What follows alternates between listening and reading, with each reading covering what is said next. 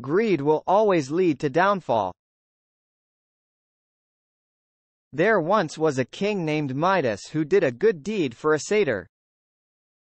And he was then granted a wish by Dionysus, the god of wine. For his wish, Midas asked that whatever he touched would turn to gold. Despite Dionysus' efforts to prevent it, Midas pleaded that this was a fantastic wish, and so, it was bestowed.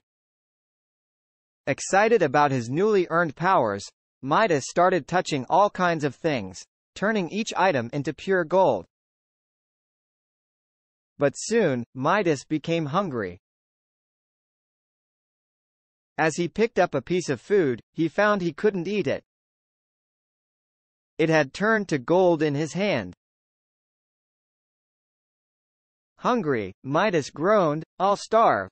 Perhaps this was not such an excellent wish after all. Seeing his dismay, Midas' beloved daughter threw her arms around him to comfort him, and she, too, turned to gold. The golden touch is no blessing, Midas cried.